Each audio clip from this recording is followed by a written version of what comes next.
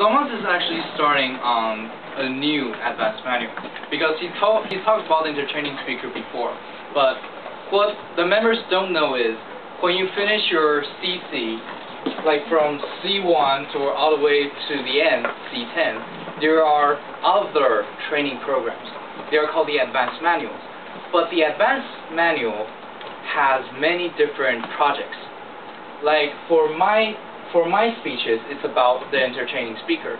Whereas for Thomas, he is starting on an advanced manual that is called public relations, which meaning Thomas is training himself to represent a brand or a company for somebody else. And the first, and like the CC project, we have C1 to C10. Public relations has A1 to A5. And the first project is called the public relations speech, just to make that correction for everybody. So today he was talking about a public relations speech for leadership, basically. And if you guys can remember, Thomas had a clear structure. He talked about leadership, about the simple um, aspects of leadership. Like, first of all, it's the simple of being a leader is you need to have a simple message in your in your um, in your ideals. Another thing is you need to know how to observe you can have a strong idea, but you have to know how to observe other people. And the last thing is you need to have courage. You need to know how to get out there and really do the things that you believe in. And I think as a public relations officer, when you represent a brand, you also have to represent yourself. Thomas's brand, when you hear about Thomas, you think about confidence. He has a lot of confidence on stage. It's not a bad thing. It's really not a bad thing because mm-hmm. His confidence carries himself through a lot of things. Like, Thomas made a few mistakes on the stage today. it's like a very specific word. I know not everybody knows, but I'll, I'll leave that for other talks because it's not appropriate for Toastmasters.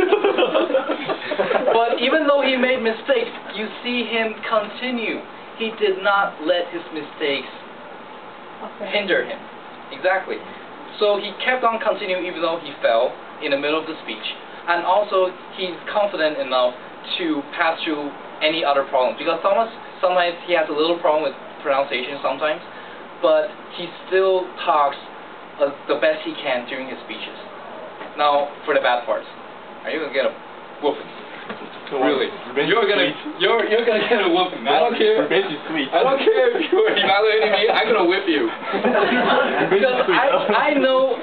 Honestly, I've seen Thomas's ten speeches, and I know Thomas, and he has done a lot better. He is even though at the first time he's maybe cocky, overconfident, but now but he's toned it down just a little bit. But today's speech, I think you could have done a lot better than that. Honestly, I know you could have done a lot better than that. I don't I don't. I think it's a good speech, but you could have done a lot better. Now, first of all, it's, you're not really clear in your speeches. You're not really clear on your points, so people kind of get lost in the middle sometimes. And you have a lot of filler phrases. People have filler words. Someone has filler phrases. He has like, hey, I can tell you that.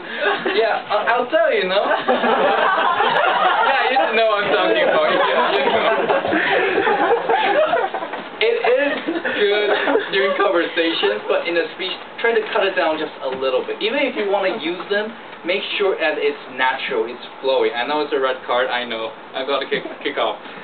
Um, another thing, I think you should just relax yourself a little bit more. Maybe maybe you haven't been on stage for a long time, or maybe you haven't talked a speech in a long time. Try to make it more relaxing. You're talking, you're representing a brand. You're going to be a public relations officer. You've been a PR, so try to feel natural when you're talking about a brand, especially during your next speech. And um, try not to smile when you're talking about a serious message, or try not to make a funny face when you're a serious message, because like we're talking about, yes, everyone needs to be a leader. It's a serious message, so you can't just go like, yeah, everyone needs to be a leader. just try to, just make sure you get the right facial gestures at the right moment. But all in all, I know you can do better. But it is a great speech, so just improve on those points, and in your next speech, uh, a goodwill speech, it's going to be better. Okay, look forward to your next day. Hopefully I'm not the evaluator again.